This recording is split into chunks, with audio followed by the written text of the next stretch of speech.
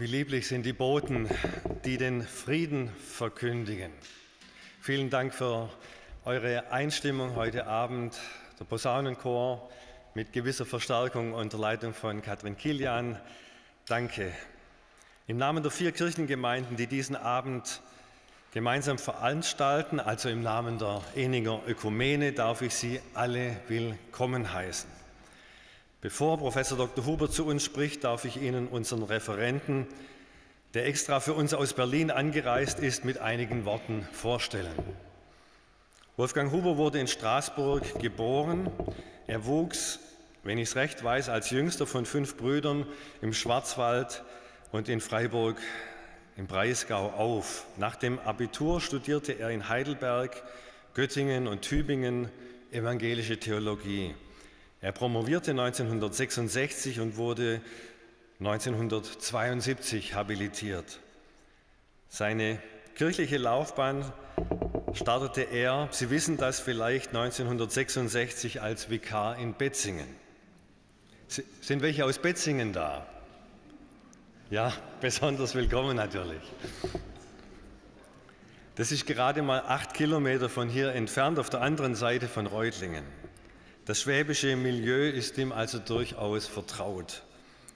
Schon 1973 wurde er Mitglied der Kammer für öffentliche Verantwortung der Evangelischen Kirche in Deutschland. Es folgten Professuren in Marburg und Heidelberg. 1985 leitete er als Präsident den Kirchentag in Düsseldorf. 1994 trat er das Amt als Bischof der Evangelischen Kirche Berlin-Brandenburg-Schlesische Oberlausitz, so die heutige Bezeichnung, an. 2003 wurden sie zum Ratsvorsitzenden der EKD gewählt und waren damit höchster Repräsentant von damals 25 Millionen Evangelischen in Deutschland. 2006 erschien das von Ihnen maßgeblich geprägte Impulspapier, ich habe das hier mitgebracht, Kirche der Freiheit. Vor allem ihre Forderung nach Leistungsbereitschaft und Qualitätsbewusstsein hat fast reflexartigen Widerspruch hervorgerufen. Mit mir persönlich gefallen bis heute die in ihrem damaligen Vorwort genannten vier Leitlinien. Sie gefallen mir so gut, dass ich sie hier zitieren möchte. Die Kirche, so schrieben sie, braucht geistliche Profilierung statt undeutlicher Aktivität. Schwerpunktsetzung statt Vollständigkeit, Beweglichkeit in den Formen statt Klammern an Strukturen, Außenorientierung statt Selbstgenügsamkeit. Bis 2009 waren sie Bischof und Ratsvorsitzender. 2010 und 2012, also schon offiziell im Ruhestand, waren sie im Gespräch als Kandidat für das Amt des Bundespräsidenten. Verheiratet sind sie seit den Betzinger Zeiten mit Kara Huber-Haldrack. Gemeinsam haben sie drei Kinder und sechs Enkelkinder. Heute widmen sie sich vor allem der Wertevermittlung in Wirtschaft und Gesellschaft. Als digitale Mustergemeinde, zu der wir vor anderthalb Jahren ausgewählt wurden, interessiert uns natürlich auch Ihr, ich glaube, das ist das neueste Buch zur Ethik der Digitalisierung. Es findet sich auch hinten auf dem Büchertisch. Seit dem 24. Februar 2022 beschäftigt uns der Ukraine-Krieg, der eigentlich schon acht Jahre vorher mit der Besetzung der Krim begann. Seit über einem Jahr beten wir Christen aus verschiedenen Konfessionen gemeinsam jeden Freitag für den Frieden. Im Winterhalbjahr sind wir immer um diesen wunderbaren Weltenleuchter gestanden, seit der Zeitumstellung wieder am Türmle im Freien. Wie viele andere sind wir ratlos, wie dieser Konflikt gelöst werden könnte. Wir freuen uns sehr, dass wir als Eninger Ökumene Sie, Herr Professor Dr. Wolfgang Huber, gewinnen konnten, heute zu uns zu sprechen. Ihre Zeit, in Ihrer Zeit als Ratsvorsitzender haben Sie die Friedensdenkschrift der EKD maßgeblich begleitet. Sie gelten als ehemaliges Mitglied im Nationalen Ethikrat und im Deutschen Ethikrat als eine gewichtige Stimme in ethischen Fragen. und in ethischen Streitfragen. Ihr Thema lautet heute Nie wieder Krieg, Friedensethik in der Zeitenwende. Seien, seien Sie uns herzlich willkommen, wir sind gespannt, was Sie uns zu sagen haben.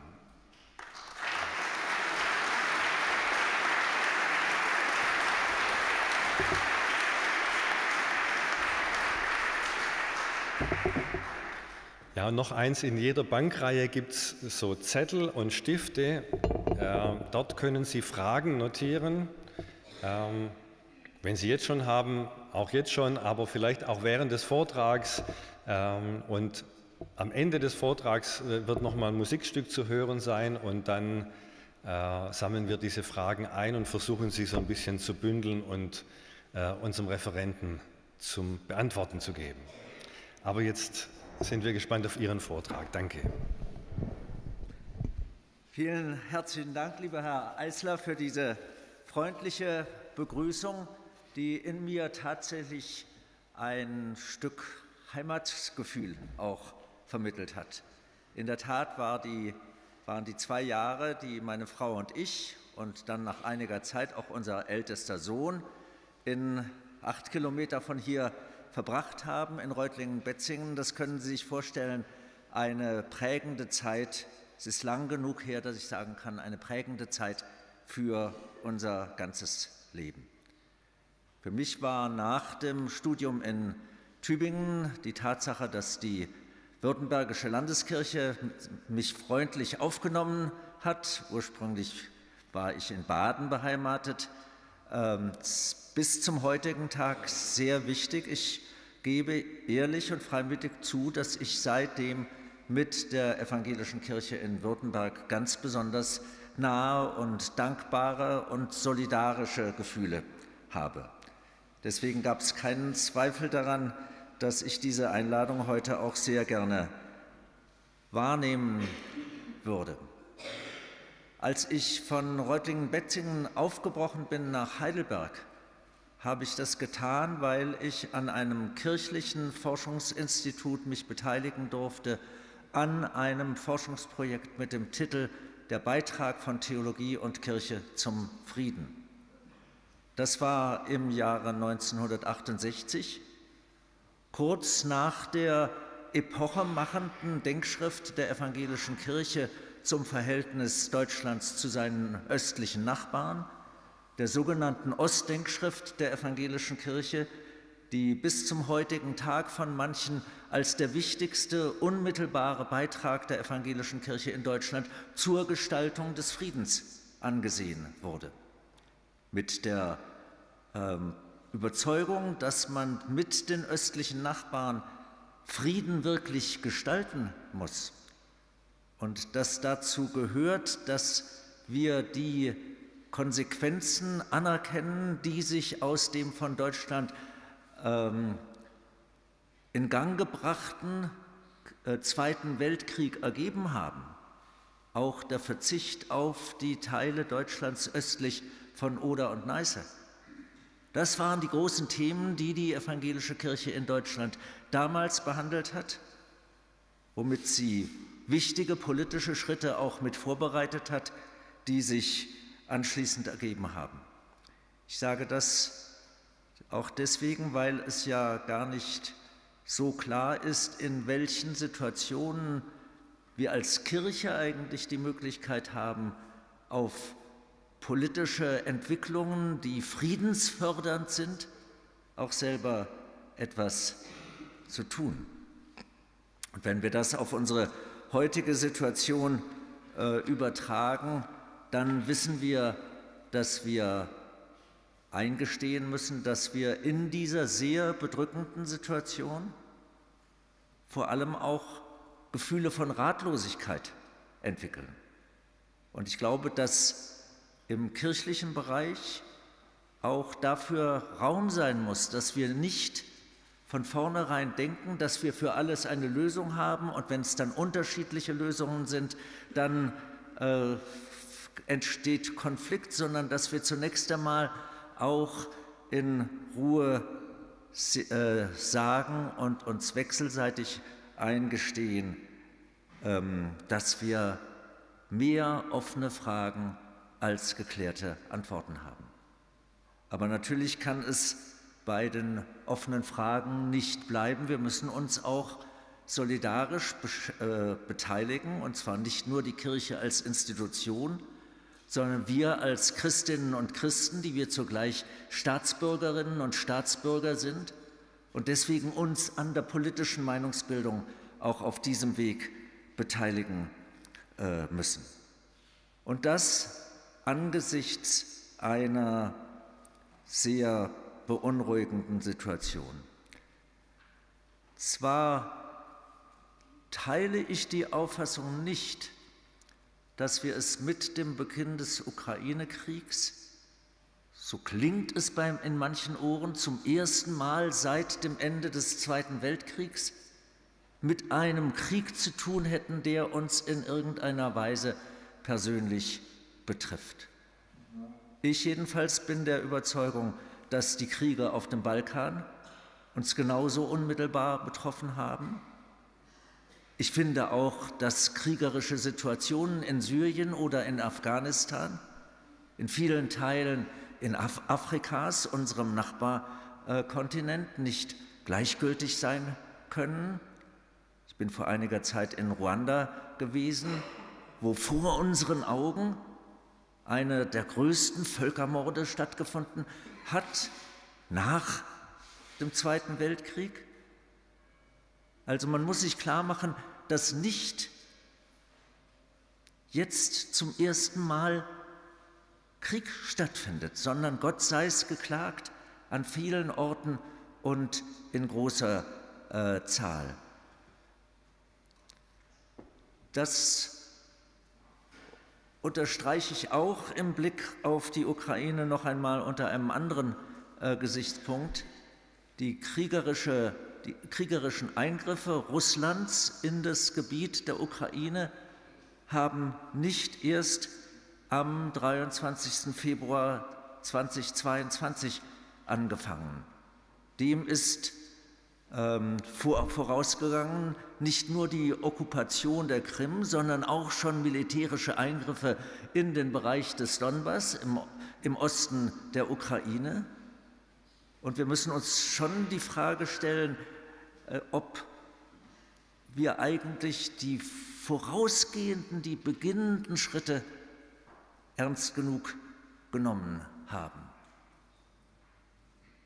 Aber damit leugne ich nicht, dass wir als Christen eine große Aufgabe darin haben, deutlich zu machen, wie es der, die erste Vollversammlung des Ökumenischen Rats der Kirchen 1948 in Amsterdam äh, gesagt hat, Krieg soll nach Gottes Willen nicht sein. In dem Sinn nie wieder Krieg. Bloß wenn wir das aussprechen, müssen wir eben ganz klar sagen, dass wir auch schon vor dem Ukraine-Krieg uns der Frage intensiver hätten zuwenden äh, müssen, was können wir denn beitragen, um Kriege zu vermeiden? Wie können wir dazu etwas beitragen, dass gewaltfreie Beiträge zur Lösung von Konflikten eine größere Rolle spielen und häufiger auch geachtet und eingesetzt werden. Mit diesen Überlegungen bestreite ich nicht, dass es mir genauso ging wie vielen, dass der Angriff auf die Ukraine noch einmal eine neue Qualität hatte. Und dass deswegen sich sehr schnell, erstaunlich schnell auch die Frage gestellt hat, was wir in Deutschland, was wir in Europa, was wir in der westlichen Staatengemeinschaft dazu beitragen können, um diesem Angriffskrieg möglichst schnell und möglichst wirksam ein Ende zu setzen. Schon in den ersten Tagen nach dem Ausbruch dieses Krieges Nämlich am 27. Februar 2022 hat Bundeskanzler Olaf Scholz vor dem Deutschen Bundestag die Formel von der Zeitenwende verwendet. Wir erleben eine Zeitenwende. Und das bedeutet, die Welt danach ist nicht mehr dieselbe wie die Welt davor. Er sprach von einer Zeitenwende in der Geschichte unseres Kontinents, die sich durch den Angriffskrieg Putins gegen die Ukraine vollzogen habe. Daraus leitete er eine gemeinsame europäische Verpflichtung ab.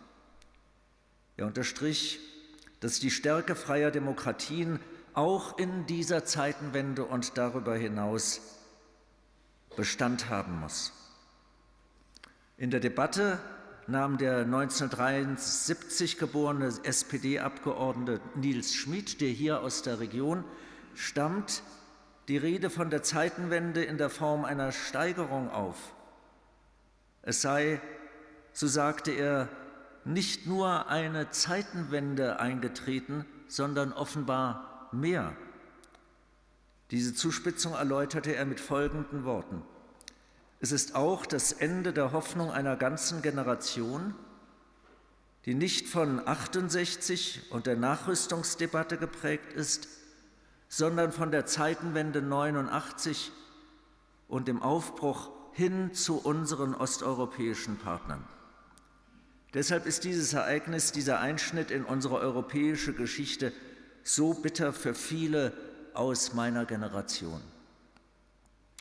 Ich habe einen Augenblick gebraucht, um die Reichweite dieser Äußerung von Nils Schmidt zu verstehen, und sie ist damals in der Berichterstattung über diese Bundestagsdebatte leider auch zu sehr untergegangen.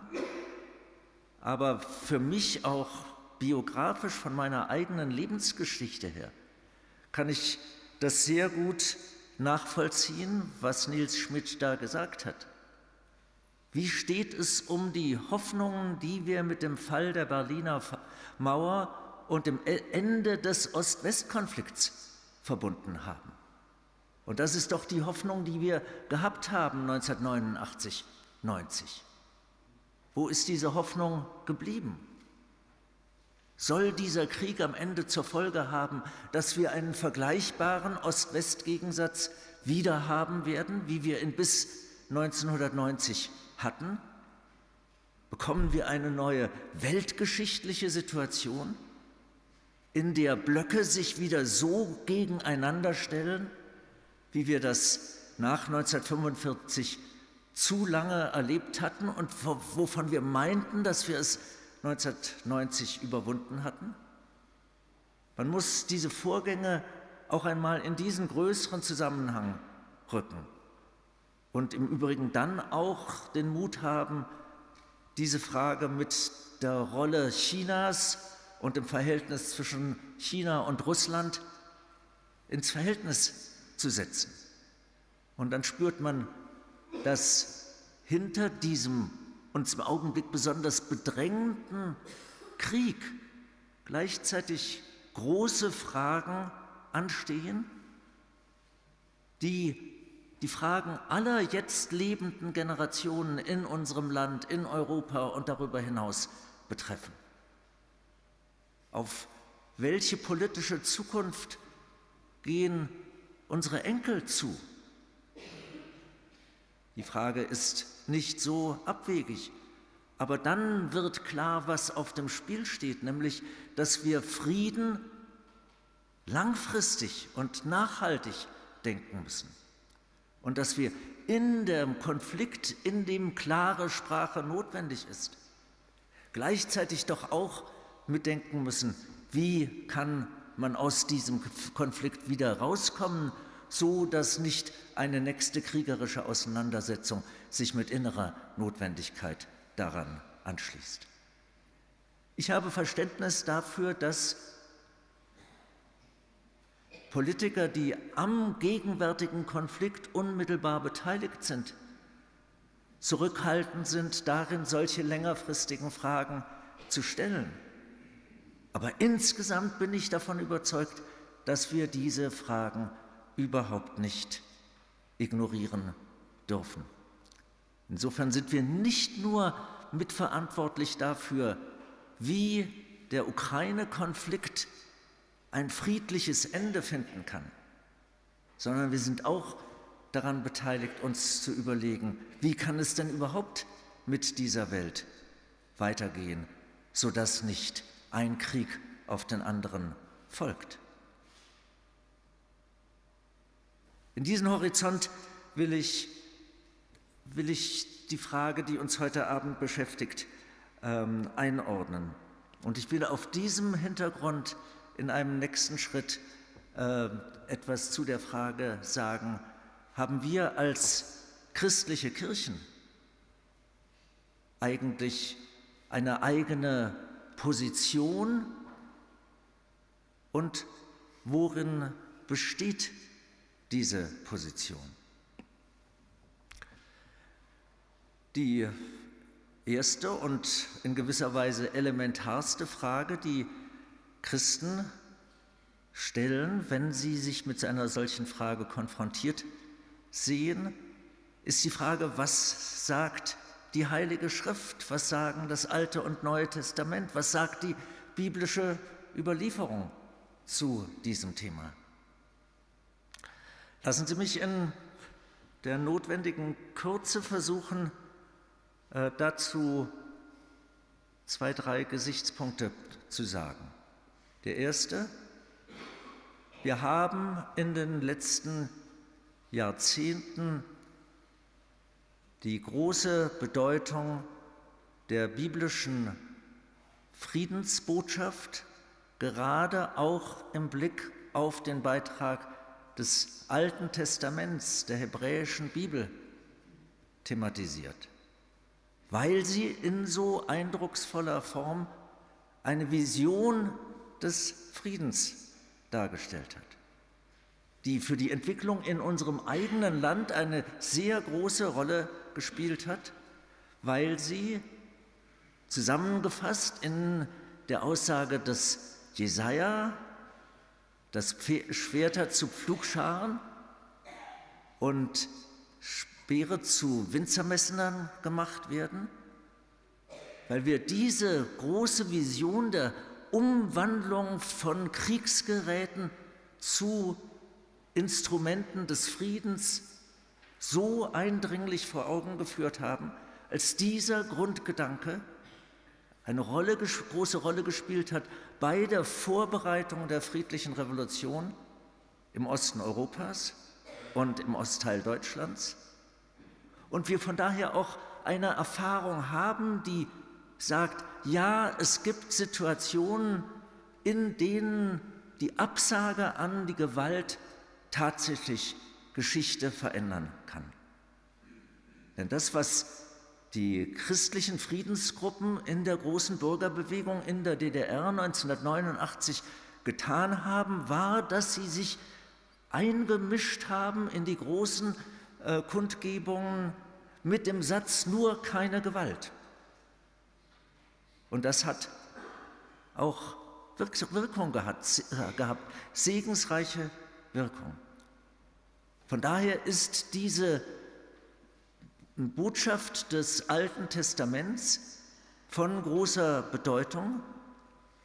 Sie hat uns in den Kirchen dazu ermutigt, uns am Leitfaden des gerechten Friedens, des biblischen Shalom im umfassenden Sinn zu orientieren und zu versuchen, daraus Konsequenzen zu ziehen.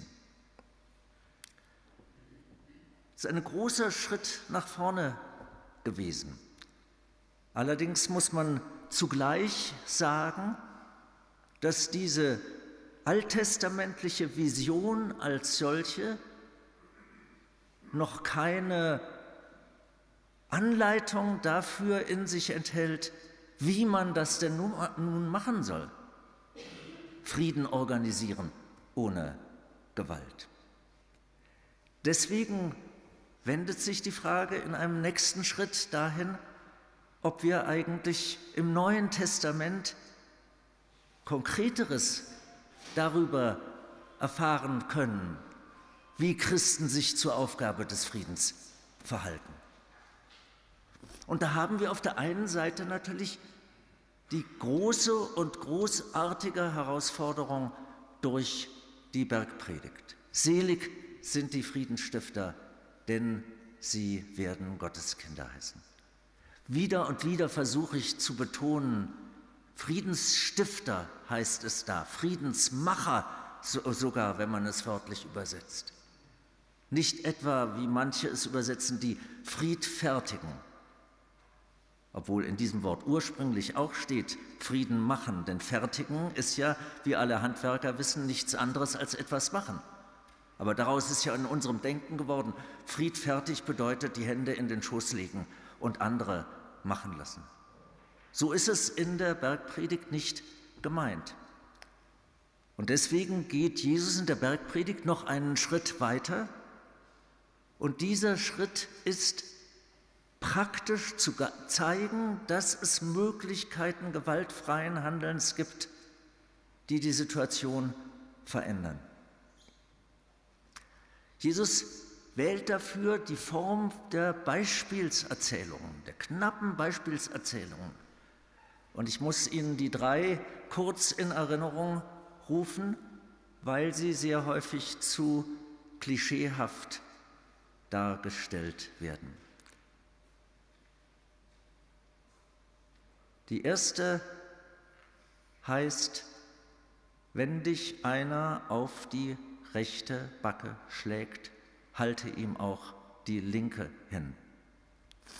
Wir interpretieren das immer so, als dass man aufgefordert wäre, auf Gewalt so zu reagieren, dass man hinnimmt, wenn die Gewalt noch einmal verdoppelt wird.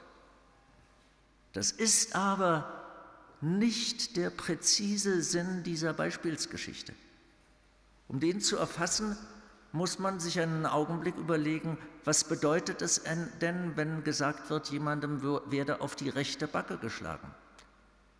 Da schon zur Zeit Jesu wie bis zum heutigen Tag die Mehrheit der Menschen Rechtshänder sind, muss man davon ausgehen, dass die, der Schlag mit der rechten Hand gemacht wird. Wenn man mit der rechten Hand einen anderen Menschen schlägt, dann schlägt man ihm, also mit der rechten Hand auf die rechte Seite schlägt, dann schlägt man ihm mit dem Handrücken auf die Backe. Ja, hier ist meine rechte Hand, der andere steht mir gegenüber, seine rechte Backe erreiche ich nur, wenn ich ihn so schlage. Das galt schon in biblischen Zeiten als ehrenrührige Handlungsweise. Wenn einer das macht, dann halte ihm wenigstens die linke hin, damit er wenigstens dran denkt, wenn schon schlagen, dann mit offener Hand, mit offenem Visier. Sozusagen ehrlich von Mensch zu Mensch. Also die Gewalttat durch eine überraschende Reaktion überwinden. Nämlich, denk doch mal nach, was du tust. Wenn schon, dann mach es mit offener Hand. Die zweite Beispielsgeschichte handelt davon, dass äh, jemand, der Schulden hat, von seinem äh, Gläubiger aufgefordert wird, die Schulden zu begleichen. Er kann es nicht. Daraufhin nimmt der Gläubiger das Kostbarste, was der arme Mensch noch hat, nämlich seinen Mantel. Er tut damit etwas, was er überhaupt nicht darf. Denn in den Mittelmeerländern mit ihren kalten Nächten braucht man den Mantel nicht nur um tags umherzugehen, sondern zugleich als Decke, um sich nachts vor der Kälte zu schützen. Der Gläubiger macht etwas, was wir heute als menschenrechtswidrig ansehen würden. Die Menschen vor dem, den Menschen den elementarsten Schutz wegzunehmen. Und der Rat geht dahin, zeige ihm die Absurdität seines Handelns, indem du noch einen Schritt weiter gehst. Gib ihm dein Kleid, dein Kleidungsstück.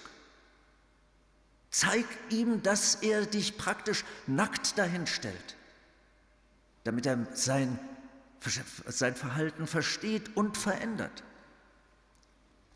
Und die dritte ähm, Beispielserzählung, die Jesus wählt, ist die Situation zwischen einem äh, Israeliten und Solda einem Soldaten der römischen Besatzungsmacht.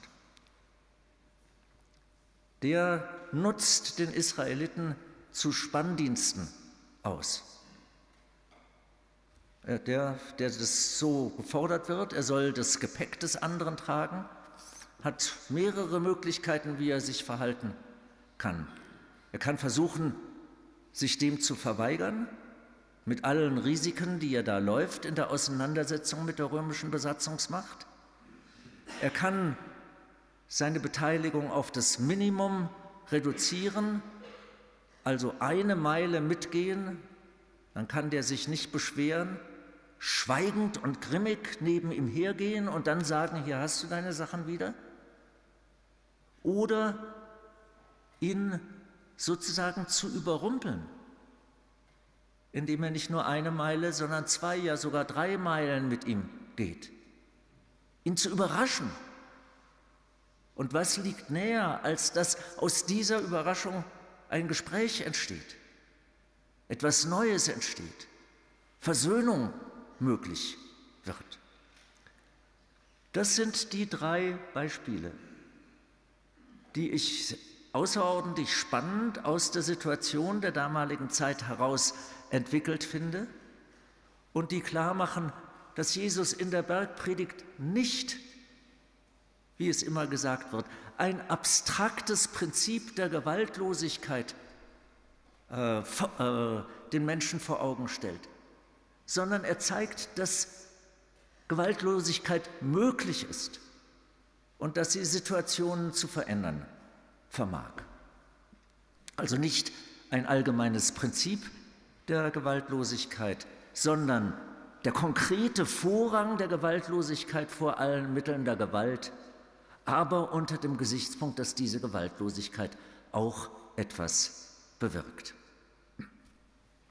Das führt schließlich zu der Frage, ob eigentlich diese Einladung zur Gewaltlosigkeit, so wichtig sie ist, so beeindruckend ihre geschichtlichen Wirkungen sind.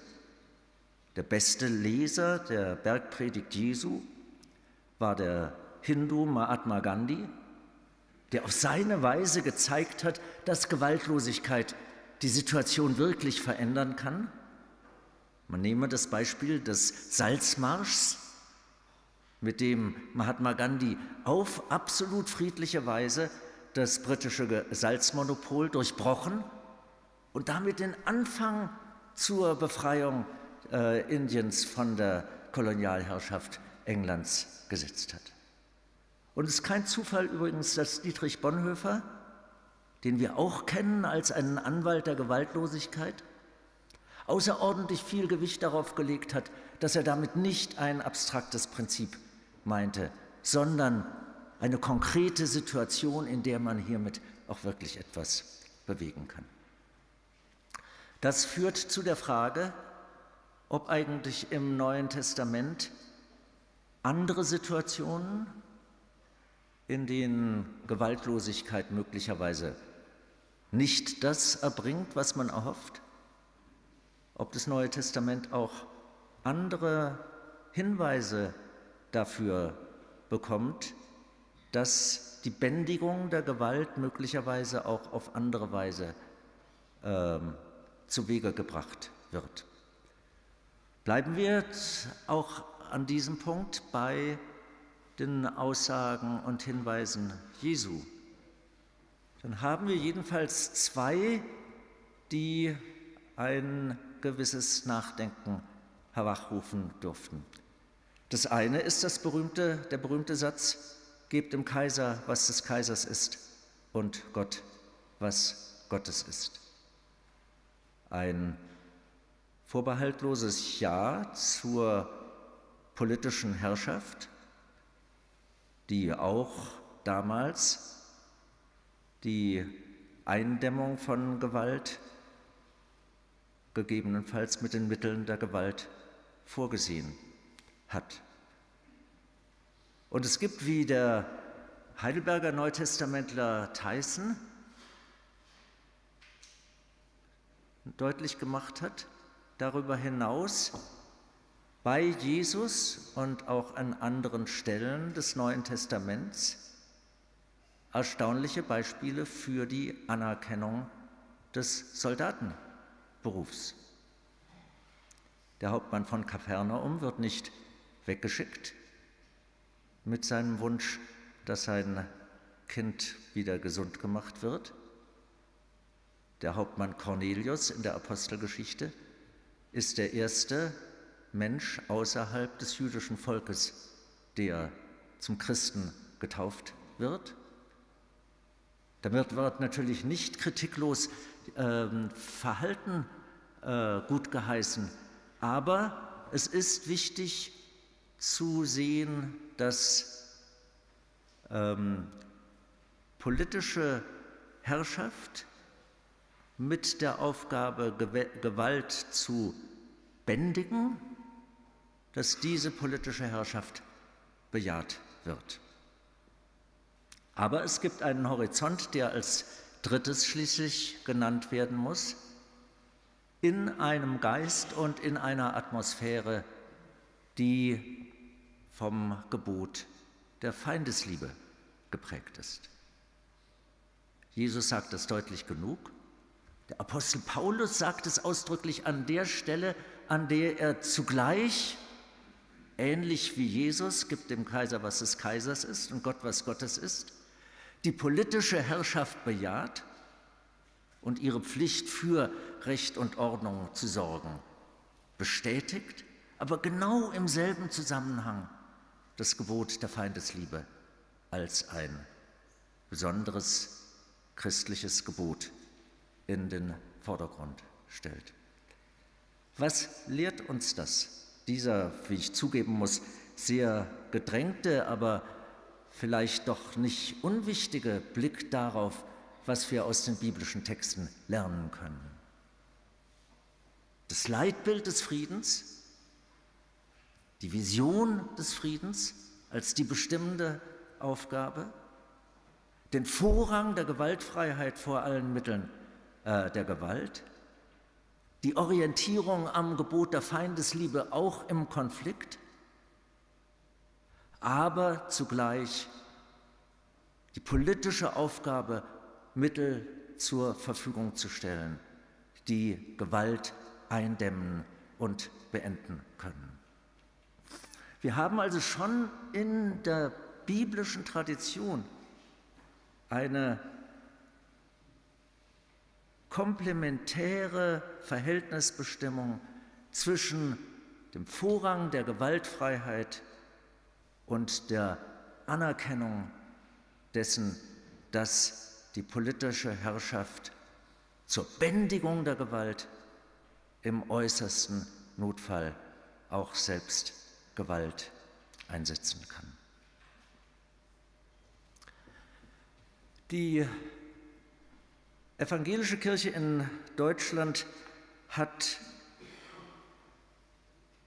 aus dieser Komplementarität innerhalb der christlichen Friedensethik eine Folgerung gezogen in ihrer Friedensdenkschrift von 2007, dass sie gesagt hat, wir müssen uns die Fragen, in denen es äußerstenfalls zum Einsatz von Gewalt um des Rechts und des Friedens willen kommen kann, im Zusammenhang anschauen und sie ethisch gemeinsam beurteilen. Vier solche Fälle werden unterschieden. Ich gehe mal von, vom kleineren zum größeren vor. Das kleinere,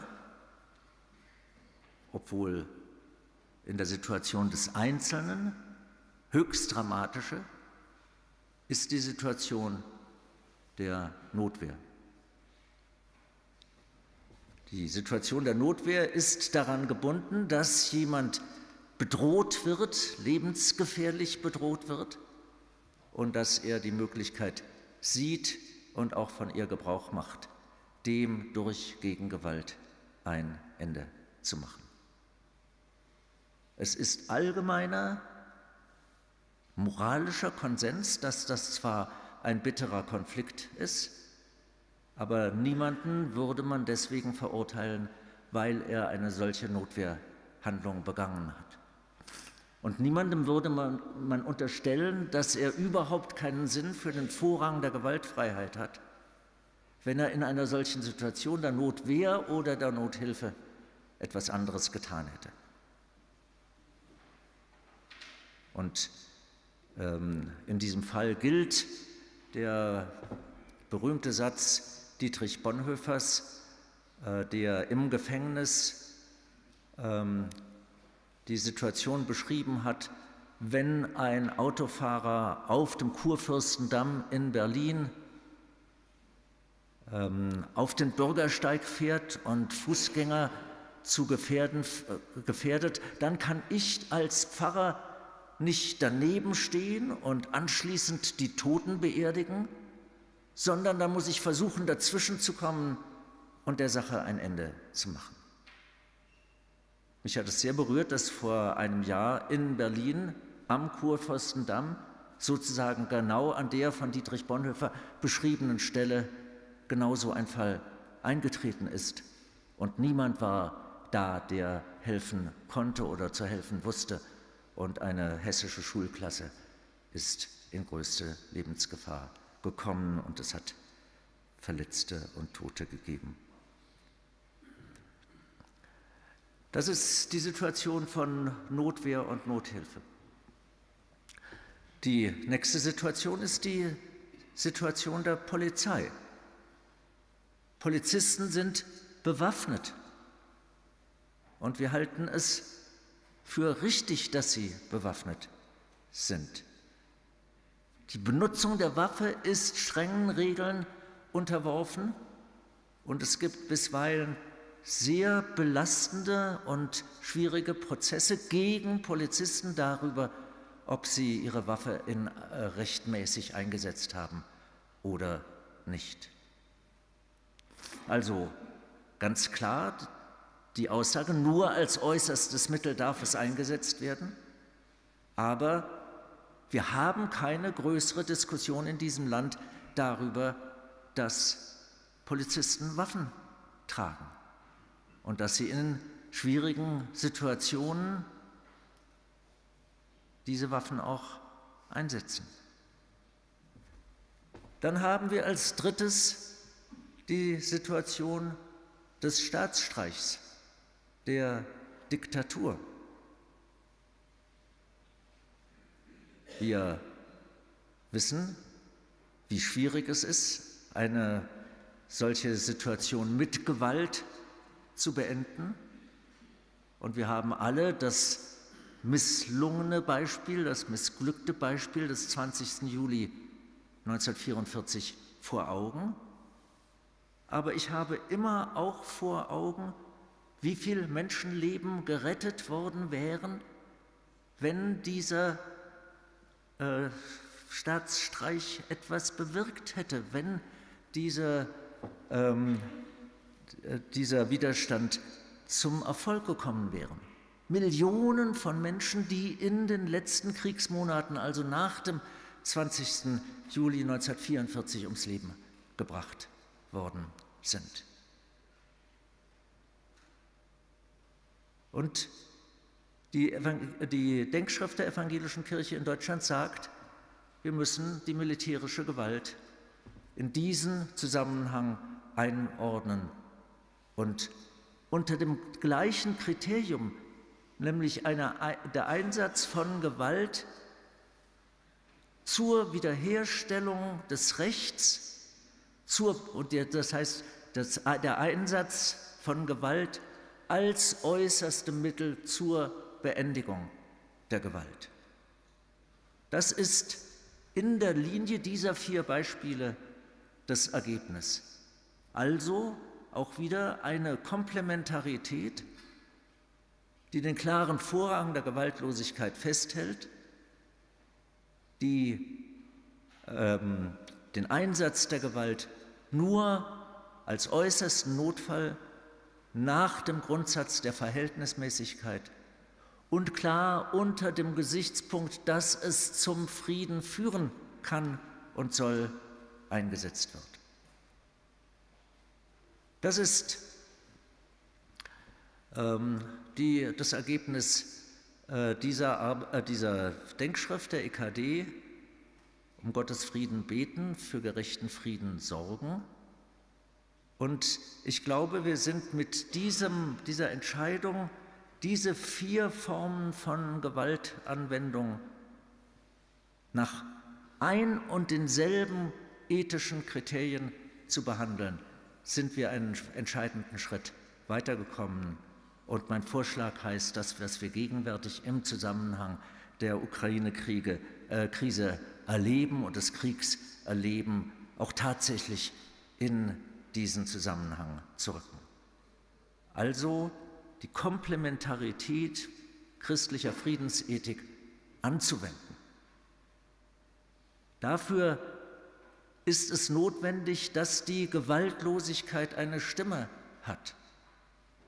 Und deswegen sage ich mit großer Klarheit und großem Nachdruck, dass es in unserer Kirche diejenigen gibt, die dafür eintreten, dass Wege gesucht werden, auch diesen Konflikt ohne Gewalt zu beenden, hat meine Unterstützung. Doch jeder, der für sich selbst daraus ableitet, ich beteilige mich nicht an Gewaltanwendung und ich befürworte es nicht, dass Waffen in die Ukraine gegeben werden.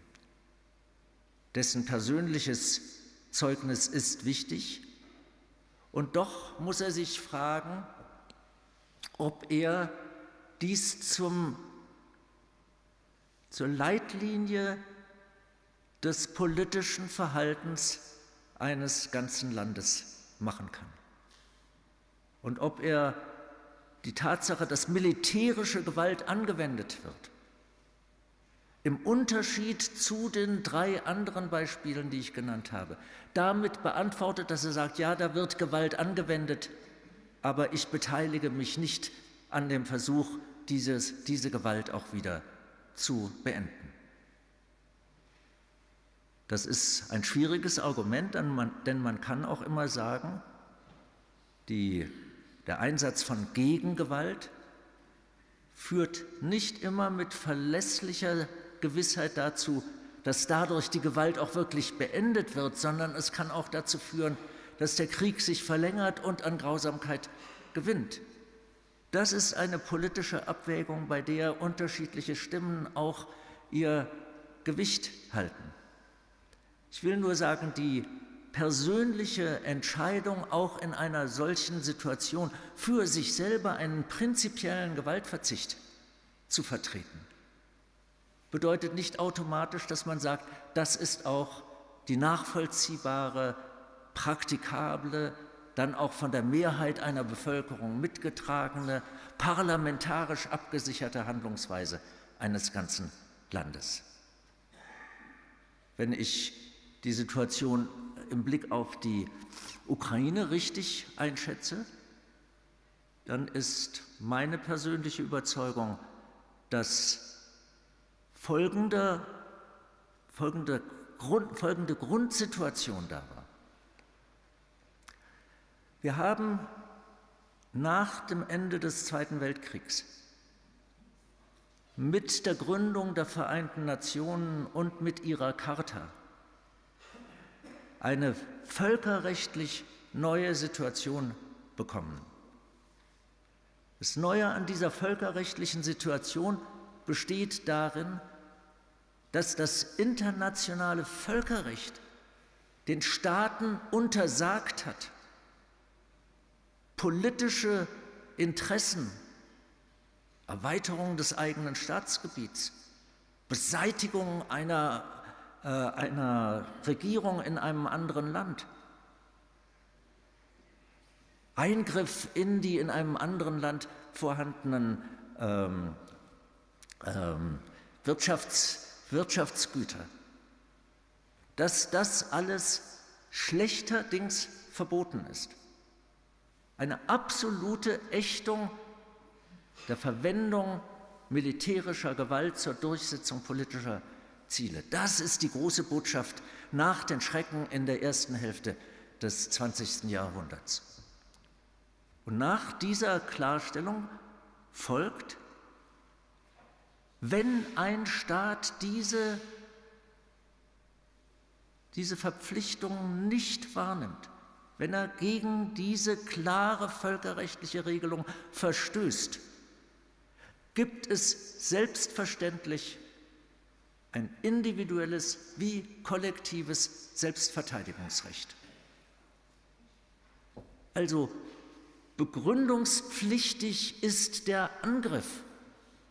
Und für ihn gibt es keine rechtliche Begründung, denn er ist rechtlich geächtet.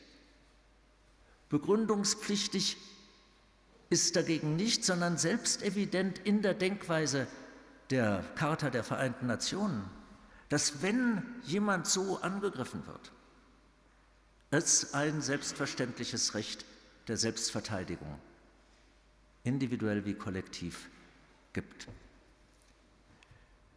Das führt ja auch dazu, soweit ich die deutsche Debatte richtig verfolge, dass nur relativ wenig Leute sagen, die Ukraine hätte kein Selbstverteidigungsrecht, sondern unsere Debatte konzentriert sich auf die Frage, gibt es eine, eine Pflicht, gibt es ein Recht, diese Selbstverteidigung der Ukraine mit Unterstützung durch Waffen zu stärken. Das ist unsere Hauptdiskussion gewesen.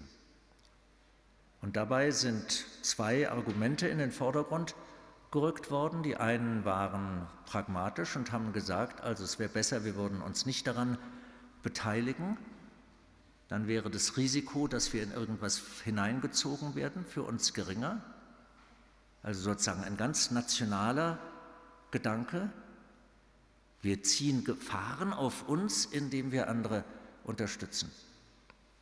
Und die andere Argumentation, die gesagt hat, ja, dass es westliche Länder wie Frankreich und andere gibt, die äh, die Ukraine unterstützen, das kann man ja verstehen und auch vertreten.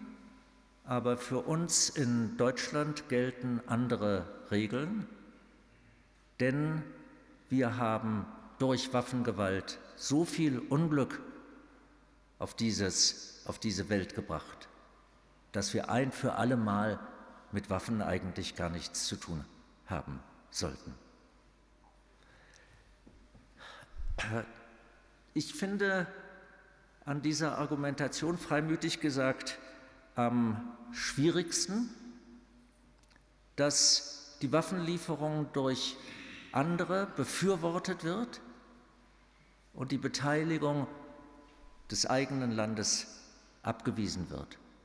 Und zwar mit einer Begründung, die sich bezieht auf die Anwendung von Waffen durch unser Land, die ein Willkürakt, genau ein Willkürakt war und genau in denjenigen Ländern oder auch in demjenigen Land viele Menschenleben gekostet hat, die jetzt um ihre Freiheit und ihr Leben kämpfen. Deswegen bin ich selber davon überzeugt, die Debatte muss bei uns kritisch geführt und kritisch weitergeführt werden, aber dass wir eine Sonderethik für Deutschland einführen, die aus dem Einsatz von Waffen in früherer Zeit äh, herleitet, dass wir deswegen jetzt zum Schutz derselben Menschen, die damals unter deutschen Waffen gelitten haben, dass jetzt zu deren Schutz nicht mehr dasjenige getan werden darf, was von einem erheblichen Teil der Weltgemeinschaft als notwendig angesehen werden kann. Es ändert nichts daran, dass ich für die persönlichen Entscheidungen, die dahinter stehen, großen Respekt habe. Ich halte fest an der Notwendigkeit der ähm, komplementären Friedensethik, die ihren wichtigsten Ausdruck darin gefunden hat, dass wir innerhalb dieser Friedensethik die Problematik jedes militärischen Einsatzes dadurch unterstrichen haben, dass wir nicht mehr, wie das in früheren Jahrhunderten der Fall war, von einem gerechten Krieg reden. Die Behauptung, es gäbe einen gerechten Krieg, wird in der evangelischen Friedensethik nicht mehr vertreten. Das Einzige, was gerecht sein kann, ist ein gerechter Frieden. Und die Aufgabe, die in diesem Zusammenhang militärischen Einsätzen allenfalls zukommen kann, wenn es keine anderen Möglichkeiten gibt, ist die Voraussetzungen dafür zu schaffen, dass gerechter Frieden möglich wird, aber nicht für die äh, Gewalttaten als solche, die im Krieg geschehen, in Anspruch zu nehmen, dass diese gerecht wären. Diese Unterscheidung muss, glaube ich, eine Lehre aus der Kriegsgeschichte der Neuzeit bis in unsere Gegenwart hinein sein. Lassen Sie mich äh, die Fragen, die mich beschäftigen, auch persönlich sehr beschäftigen, am Schluss nochmal an einem biblischen äh, Zusammenhang verdeutlichen, den ich bisher ausgespart habe.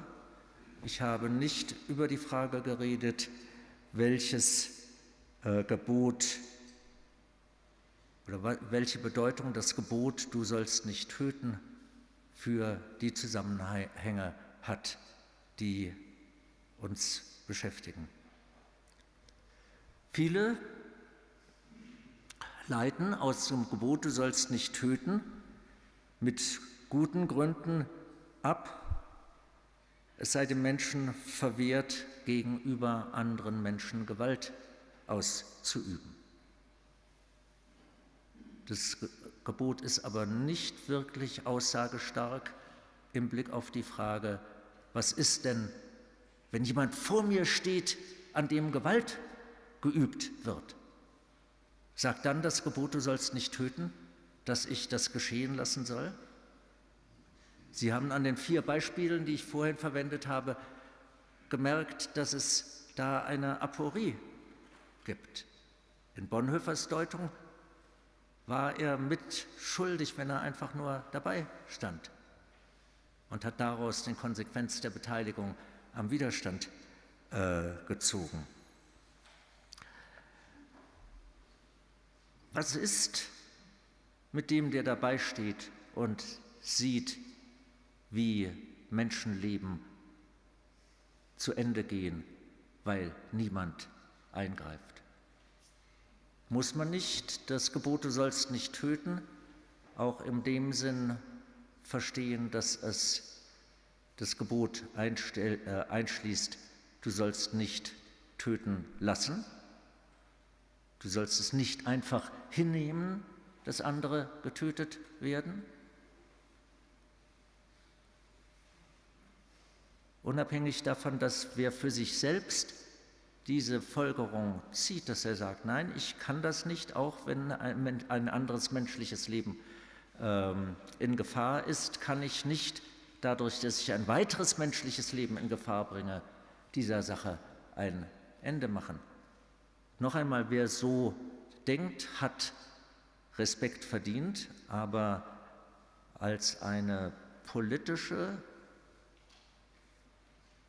Linie, die ein ganzes Volk sich zu eigen macht, hat man dann doch gewisse Zweifel und fragt sich, muss dieses Gebot, du sollst nicht töten lassen, doch einschließen, dass man Vorkehrungen dagegen trifft, dass Menschen getötet werden, dass man nach Eingreifmöglichkeiten sucht, um dem ein Ende zu machen? Und bei aller bewussten Bejahung, dass dabei gewaltfreie Mittel den Vorrang haben und dass von den im Ukraine Konflikt tatsächlich leider nicht die Rede ist, daraus doch nicht schließen kann, dass auf diese Unterstützung ganz verzichtet wird. Ich sage das auch deswegen, weil ich in dieser Debatte einfach auch ein Stück weit um Respekt vor, für diejenigen werben möchte, die den schwierigen Weg gehen und zu sagen, ja, ich beteilige mich an dem Versuch, es nicht zuzulassen, dass Menschen getötet werden. Und ich sehe dabei auch die Aufgabe einer Verteidigungsmöglichkeit meines eigenen Landes als einen Beitrag dazu an und bejahe das auch dann, wenn ich mich selber daran nicht beteilige, weil ich mich selbst an das Gebot der Gewaltlosigkeit gebunden fühle. Müssten wir nicht, gerade auch in einer so bedrängenden Situation, wie wir sie jetzt erleben, darin auch ein Stück ins Freie gehen können, dass wir diese wechselseitigen Überzeugungen, diese komplementären Überzeugungen wechselseitig mit Achtung anschauen und dabei die politischen Aufgaben, um die es geht, mit einzubeziehen in unsere persönlichen Überzeugungen, die uns äh, zu gegebenenfalls zum Gewaltverzicht selbst veranlassen. Dies alles noch einmal und zum Schluss gesagt unter der Perspektive, dass wenn es, wie jetzt in der Ukraine, leider zu einer gewaltsamen Auseinandersetzung kommt, auch da nicht die Rede von einem gerechten Krieg sein kann, sondern gerecht nur der Frieden sein kann, der hoffentlich, hoffentlich auf diesen Krieg eines nicht zu fernen Tages kommen möge. Herzlichen Dank für Ihre Aufmerksamkeit und Ihr Zuhören. Ich bin gespannt auf die Fragen und das Gespräch.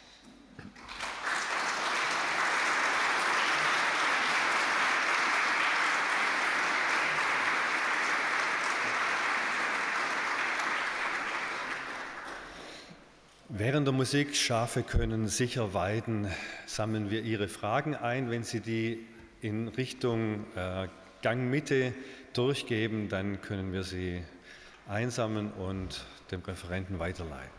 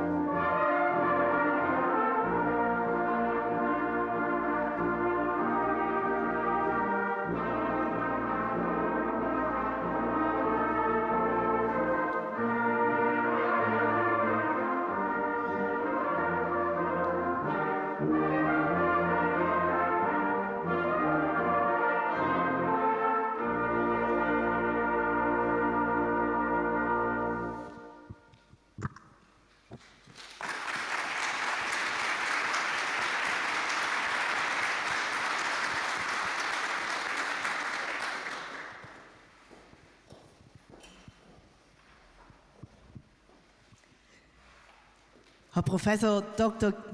Huber, vielen herzlichen Dank schon mal für den ersten Teil, sage ich mal, für die Ausführungen. Ähm, ich fand auch sehr spannend, nochmal da ins Alte Testament und ins Neue Testament zu gehen, vor allem auch mit der Bergpredigt und auch da sind nachher einige Fragen noch dabei. Vielen Dank schon mal auch an Sie alle und für die Fragen, die Sie gestellt haben. Ich würde mal mit ein paar, gleich mit großen Fragen beginnen. Wann kann es zu Friedensverhandlungen kommen im Ukraine-Krieg? Da haben wir. Morgen.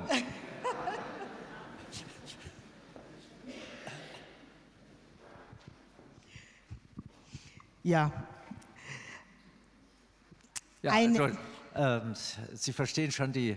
Äh, äh, natürlich müssen Friedensverhandlungen kommen, so äh, schnell wie möglich.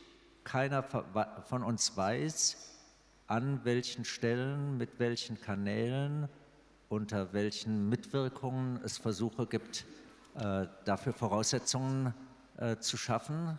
Es ist ja wahrscheinlich zwar ähm, irgendwie grundsätzlich nicht erfreulich, äh, dass es Geheimverhandlungen gibt, aber in so einem Fall ist es auch unvermeidlich. Äh, insofern wird auch keiner von uns wissen, was es gibt, wann und wie.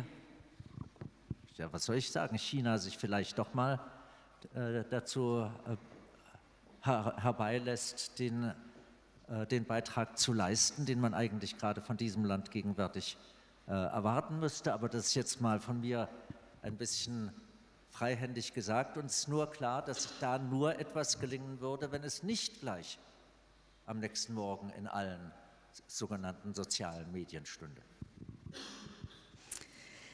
Eine eher schnelle beantwortete wahrscheinlich, was war die vierte Einschränkung Ihrer komplementären Friedensethik? Einmal kurz zurück.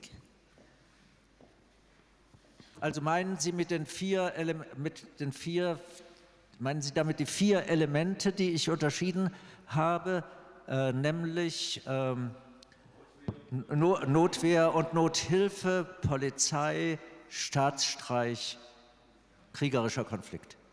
Das sind die vier. Vielen Dank.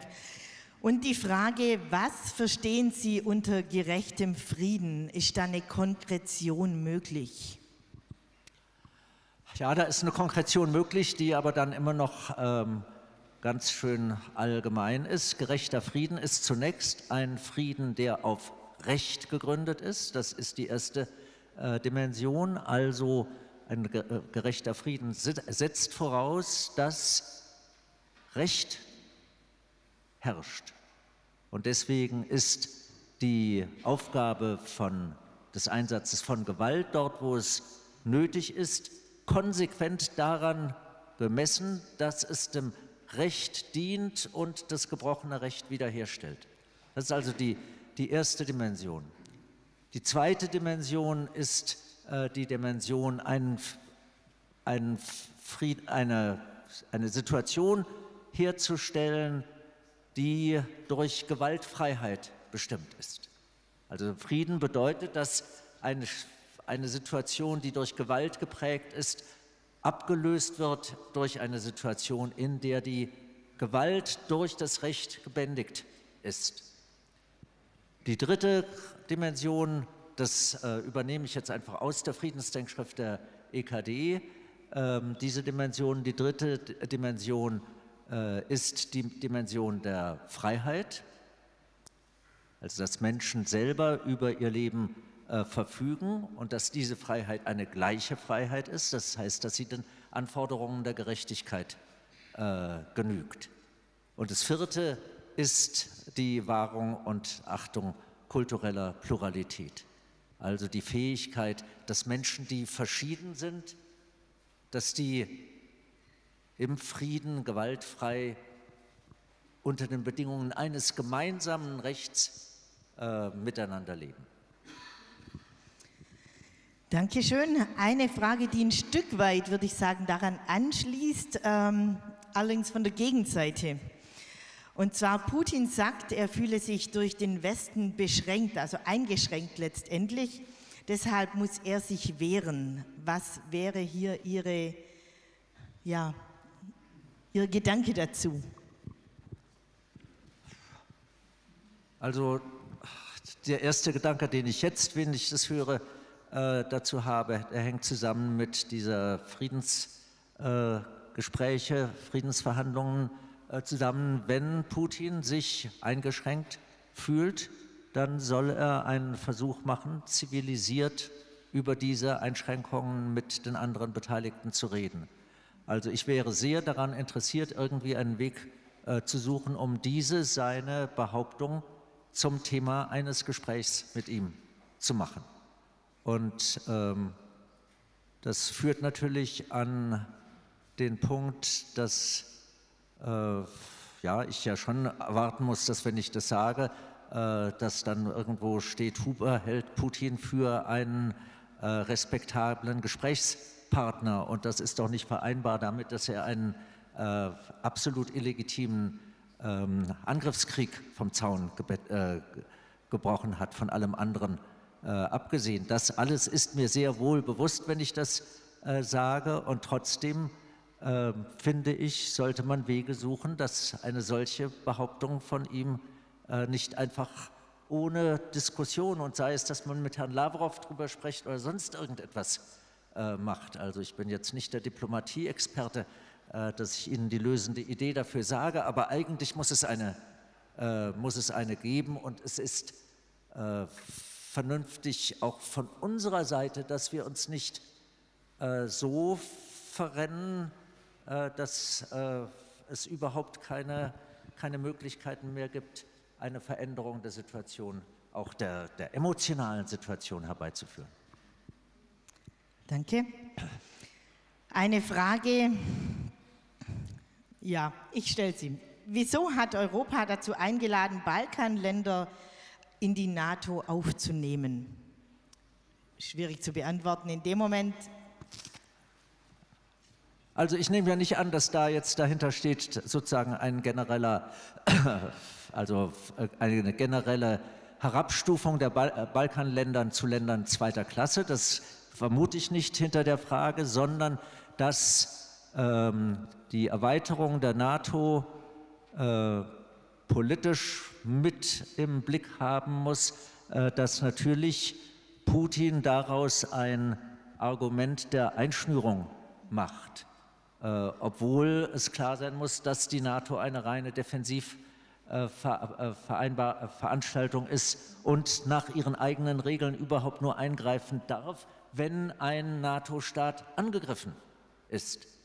Und das ja auch im Übrigen so konsequent betreibt, dass niemand von uns sagt, die NATO solle oder dürfe in diesen Ukraine-Krieg einbezogen äh, werden. Und dass wir in der gegenwärtigen Situation einen Beitrag dazu leisten, dass möglichst viele potenziell Betroffene dagegen geschützt werden, dass sie selber zum Gegenstand eines kriegerischen Angriffs werden, haben wir ja daran gezeigt, dass wir bereit sind, Finnland und äh, Schweden in die NATO aufzunehmen. Beinahe hätte ich gesagt, in der Wolle gefärbte Neutrale, die in der jetzigen Situation um diese äh, Aufnahme gebeten haben. Und nach denselben Regeln müssen natürlich auch bei Balkanstaaten die Möglichkeiten bestehen, das zu prüfen. Da will ich jetzt gar nicht äh, über das Ergebnis äh, spekulieren, aber dass ähm, die Situation, in der wir jetzt sind, ganz Europa betrifft und nicht nur Teile davon. Und je näher diese Teile an Russland sind, desto dringender sind sie auch beteiligt. Das muss man ja ganz nüchtern sehen. Eine persönliche Frage nochmal. Wie stehen Sie zu der Friedensinitiative von Margot Käßmann? Ehrlich gesagt kenne ich eine Friedensinitiative von Margot Käßmann nicht. Ich kenne ihre persönliche äh, Meinung dazu, auch so wie sie sie bei der letzten Kundgebung in Hannover vorgetragen hat, dass daraus eine Friedensinitiative im politischen Sinn des Wortes äh, irgendwo herausleuchtet, ist mir nicht deutlich geworden. Dann habe ich es vielleicht übersehen. Jedenfalls kann ich die Frage nicht beantworten. Okay. Danke. Wir nennen uns Schwestern und Brüder. Auf beiden Seiten der Front gibt es Christen und Kirchen. Wie können wir damit umgehen? Das ist ein, ja, das, das Stichwort wird, wird zu Recht schon gewandt. Das ist angesichts der Rolle der russisch-orthodoxen Kirche ein Riesenproblem. Ähm, ich hatte gehofft, dass die Vollversammlung des Ökumenischen Rats der Kirchen im vergangenen September hier ganz in der Nähe in Karlsruhe dazu etwas wirklich Wegweisendes äh, sagen würde.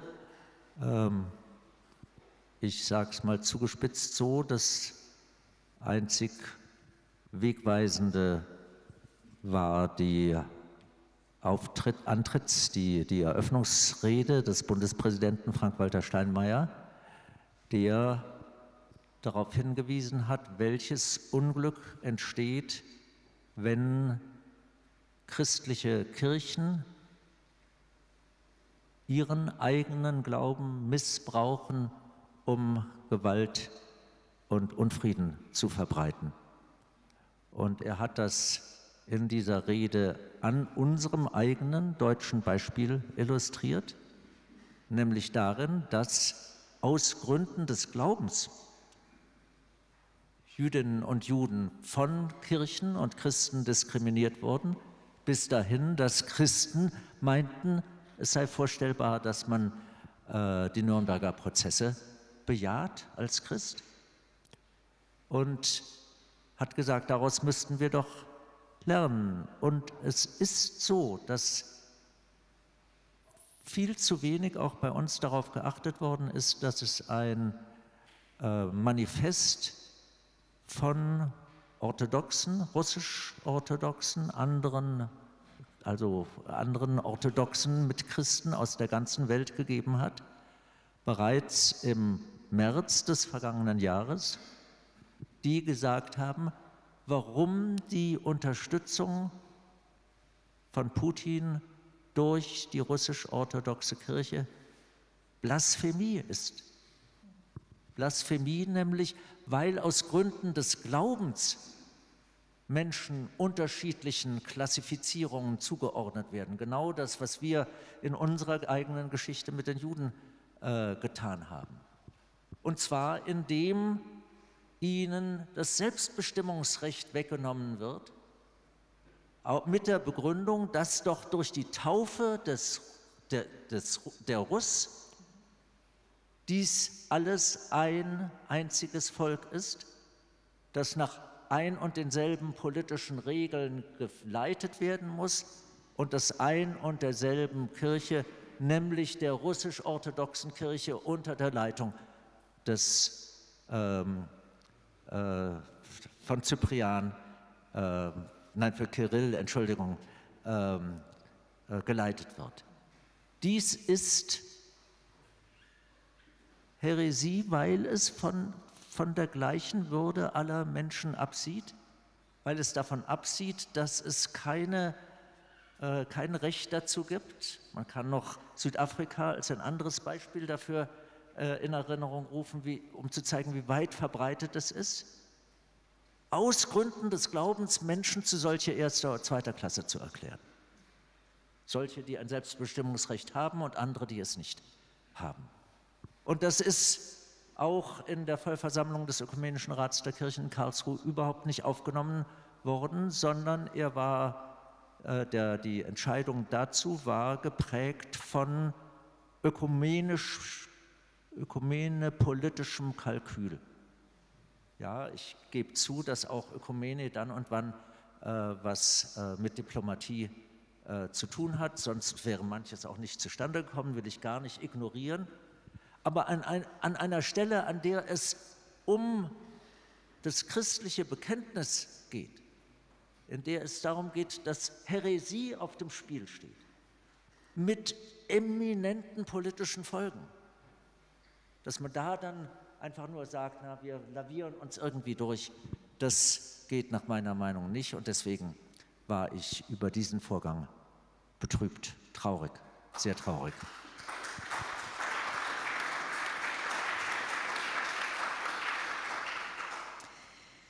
In diese Richtung, ich lese trotzdem noch, ähm, gingen auch zwei Fragen. Die eine eben, kann die weltweite Ökumene mit ausdrücklichem Einschließen der russisch-orthodoxen Kirche einen Beitrag zur Beendigung des Konfliktes beitragen?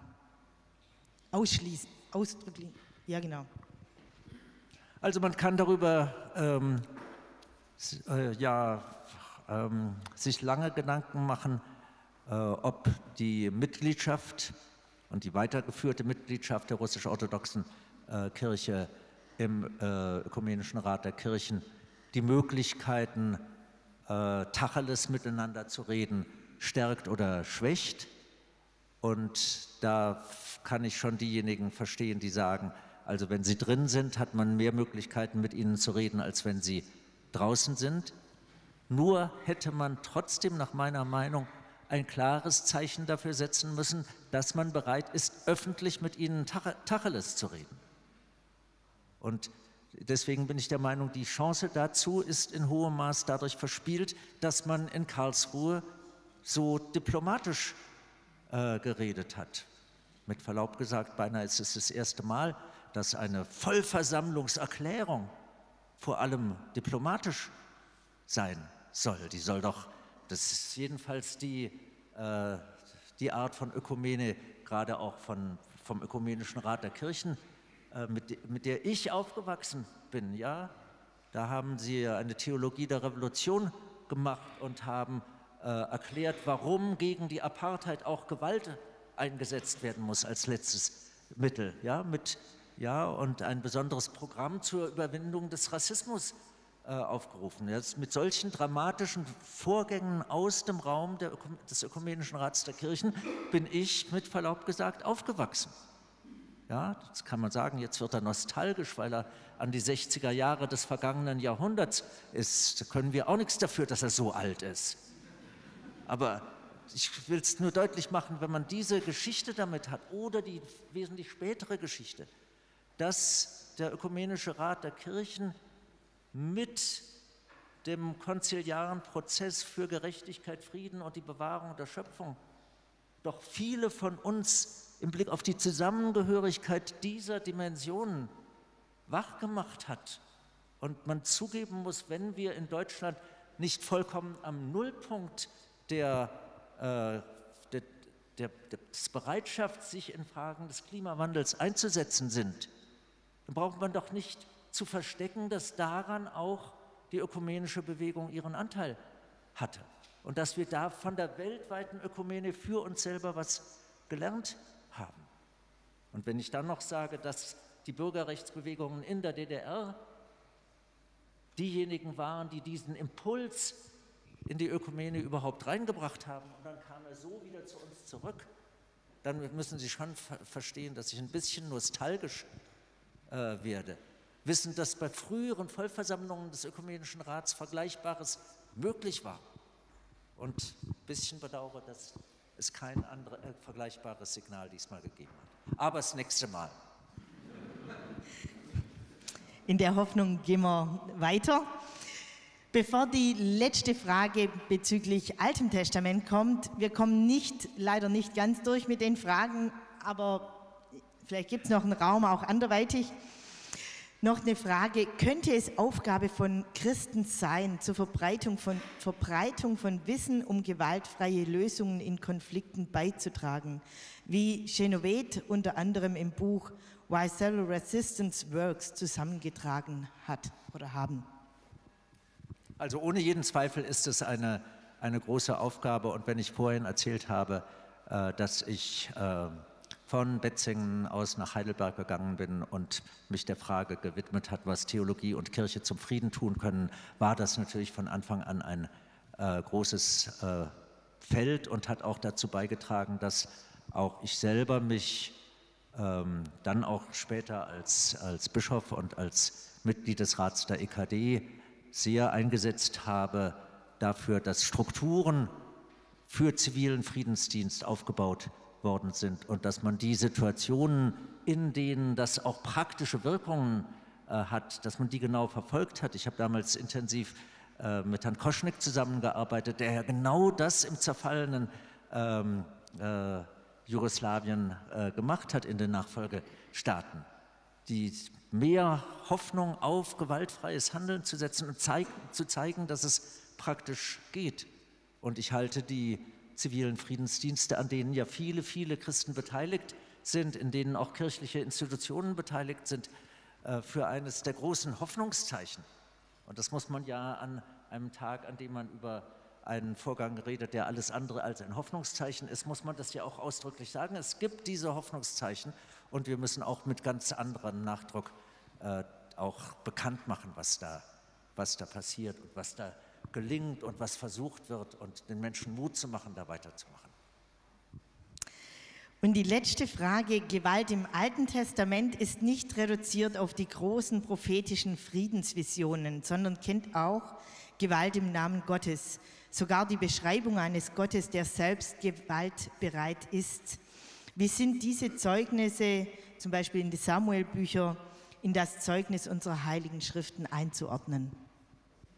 Also für mich äh, nur äh, in der Form, dass die hebräische Bibel ja selbst eine Geschichte wiedergibt und dass diese Geschichte auch geprägt ist, wie es einmal ein großartiger Alttestamentler gesagt hat, von einer allmählichen Distanzierung Gottes von der Gewalt. Denn das ist es, was wir da erleben. Ja, ähm, wir sehen äh, Situationen der Gewalt. Sie haben zum Teil auch schon früh ein trotzdem problematisches äh, ähm, Distanzieren von der äh, Gewalt ähm, hinter sich. Also, ähm, dass, dass einmal ein, ein Vater aufgefordert wird, seinen Sohn als Opfer hinzugeben und dass das dann im allerletzten Augenblick durch einen Engel verhindert wird, ändert ja zunächst nichts an der Grausamkeit Gottes, die da vor Augen gestellt wird. Diesen, diesen, dieses Menschenopfer zu verlangen. Und dass dann Leute sagen, ja, das ist eine symbolische Darstellung für die Verabschiedung der Menschenopfer. Ich muss zugeben, das tröstet mich jedes Mal, wenn ich mit diesem Text äh, aus der Genesis wieder zu tun habe, tröstet mich das nur in Grenzen. Ich hadere mit diesem Gott, der des, äh, Abraham diesen Auftrag äh, gibt. Ähm, und so ist, äh, ist auch zu sagen, dass wir natürlich die Züge des Heiligen Kriegs nicht nur in der Tradition des Islam zu beklagen haben, sondern aus unserer eigenen Tradition auch kennen und dies im Übrigen dann nicht nur aus dem Alten Testament, sondern auch aus der Tradition der Kreuzzüge und anderen äh, Traditionen, in denen äh, von Menschen gemachte Kriege als heilige Kriege ausgegeben äh, worden sind. Und deswegen äh, heißt meine generelle Schlussfolgerung äh, daraus, dass es eine Friedensfähigkeit der Religion, unsere eigene eingeschlossen, natürlich nur geben kann auf der Basis einer Bereitschaft zur Selbstkritik, zur Buße und zur Umkehr, die wir nicht nur als Einzelne brauchen, sondern die wir auch als Kirchen kollektiv brauchen.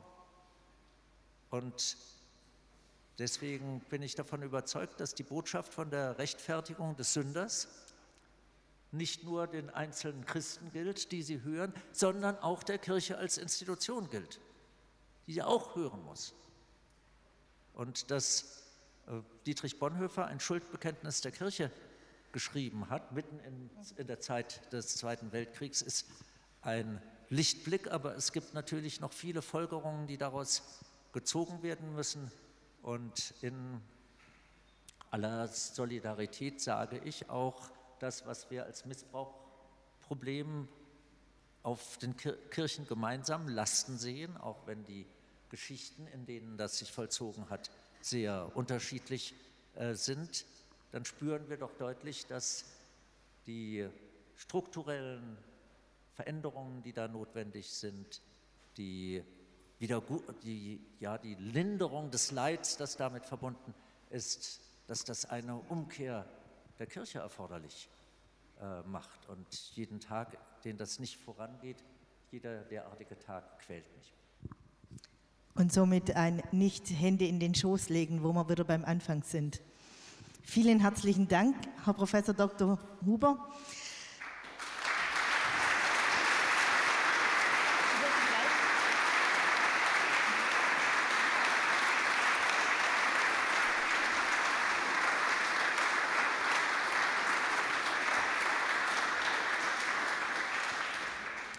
Sie dürfen hier gerade noch stehen bleiben und es wird Ihnen nochmal ein Dank ausgesprochen von anderer Seite.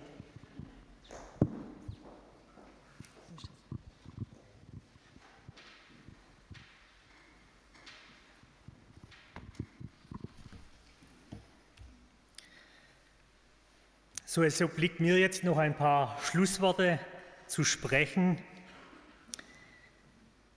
Ich möchte aber zuerst, dass ich es am Schluss nicht vergesse, darauf hinweisen, auf unsere Eninger Friedenskerze, die da vorne steht, die, ich möchte lügen, 1998 gegossen wurde und seither immer bei besonderen Anlässen so nach und nach runterbrennt. Ihr dürft gerne im Anschluss, wenn alles vorbei ist, am Weltenleuchter noch oder an der Friedenskerze eine Kerze anzünden und so auch für den Frieden einstehen. Das machen wir beim Friedensgebet, wie es Pfarrer Eisler schon angesprochen hat, an jedem Freitag im Moment wieder am Türmle. Ja, der Vortrag war für mich auch sehr spannend, auch der Blick ins Alte, ins Neue Testament hinein, dieses, sag's mal so, das ad absurdum führen, mache ich gerne auch in meinem Beruf, wenn ich in Verhandlungen trete mit Baufirmen oder Nachtragsverhandlungen, da mache ich es gerne so, dass ich ein bisschen übers Ziel hinausschieße dann und ich nenne das gerne immer Gesprächsgrundlagen schaffen. Und ich denke, dieses Gespräch zu suchen, dieses Gespräch zu führen, ist im Kleinen und im Großen ein ganz wichtiger Schritt, um Konflikte schon im Vorfeld zu vermeiden. Sie sprachen von Zeichen erkennen, schon im Vorhinein. Im Straßenverkehr nennt man das vorausschauendes Fahren. Man blickt voraus, man sieht, was kommt und man kann sich darauf einstellen. So habe ich das auch empfunden, diese Zeichen schon frühzeitig zu erkennen und dann zu handeln. Also vielen Dank für diese ganz tollen Gedanken, die Sie äh, uns gegeben haben. Wir versuchen sie anzunehmen und in unser Leben einzubauen. Ich möchte Ihnen jetzt, Herr Professor Dr. Huber noch einmal im Namen der Eninger Ökumene und ich denke auch stellvertretend aller, die hier sind, aller, die zu Hause am Computer sitzen, Ihnen herzlichen Dank sagen für diesen guten, spannenden und wichtigen Vortrag zu diesem Top-Thema Frieden. Ich darf Ihnen auch noch im Namen der Ökumene ein kleines Geschenk überreichen, ein klitzekleines Geschenk, nicht viel. Da ist drin Sturmbock-Pralinen heißen die. Es sind Sturmbock-Pralinen der Reutlinger Konditorei Sommer, also ganz nahe bei Betzingen. Die haben was mit in Klammer Un, Klammer zu, Frieden zu tun, da es sich beim Sturmbock um eine Kriegswaffe des Mittelalters gehandelt hat. Solch ein Sturmbock hat in der alten Reichsstadt Reutlingen eine merkwürdige Berühmtheit erlangt. Sie haben aber auch etwas mit dem Dank an Gott zu tun. Aber, und diese Geschichte ist da bei den Pralinen dabei, dürfen Sie dann gerne nachlesen. Und zum anderen handelt es sich um ein Walnussöl, ein Walnussöl des hiesigen Messners Thomas Büttner. Thomas Büttner stellt aus Walnüssen fast alles her. Er ist, glaube ich, schon weit über die Grenzen Eningens hinaus bekannt. Und ja, hier in Ening gibt es entgegen dem allgemeinen Trend, den Gebrauch fossiler Brennstoffe zu reduzieren, dank unseres Thomas eine florierende Ölwirtschaft. Genießen Sie die Köstlichkeiten aus unserer Region und denken dabei gerne an die Zeit in Eningen zurück. Noch einmal herzlichen Dank für Ihren Vortrag.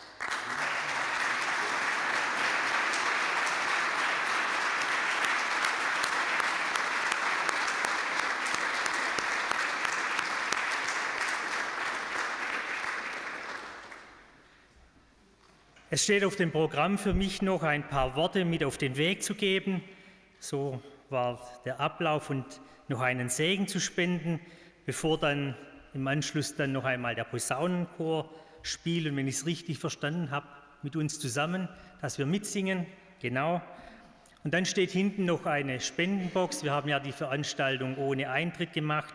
Dürft ihr gerne, äh, wenn es euch etwas wert ist, etwas hineinlegen. Das kommt dann der Eninger Ökumene zugute und auch der Deckung der Kosten.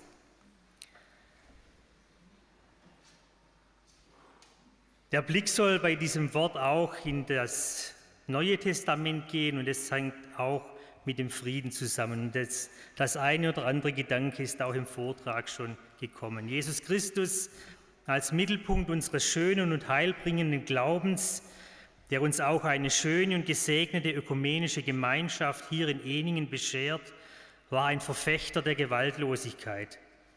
Ein schönes Beispiel ist seine Gefangennahme als er seinen gewaltbereiten, ja sogar gewaltausübenden Freund Petrus zurechtweist und sogar dem, der ihn gefangen nimmt, Gutes tut, indem er seine Verletzung heilt. Wir wollen uns daran ein Beispiel nehmen. Dann war Jesus Christus nicht nur die Gewaltlosigkeit wichtig, sondern der Friede, der noch weit darüber hinausgeht. Jesus Christus begegnete seinen Jüngern mit dem Friedensgruß, in besonders schwerer Situation der Jünger. Er sagte einer Frau, nachdem er sie geheilt hatte, dass sie in Frieden gehen soll. Er lehrte, selig sind, die Frieden stiften, die Frieden machen, so haben wir es gehört, denn sie werden Gottes Kinder heißen. Jesus Christus weist aber auch darauf hin, dass sein Friede mehr ist als der irdische Friede. Er sagt, Frieden lasse ich euch, meinen Frieden gebe ich euch. Apostel Paulus beschreibt diesen Frieden in seinem Brief an die Philipper gar so, dass der Friede Gottes höher ist als alle Vernunft. Ja, der Friede muss manches Mal höher sein als alle Vernunft. Wir wollen diesen besonderen Frieden aus Jesus Christus annehmen und wenn wir unserem Nächsten gegenübertreten, den Frieden dorthin mitnehmen, und wirken lassen und dabei sind Taten deutlich wichtiger als Worte. Lasst uns nun noch den Segen Gottes empfangen.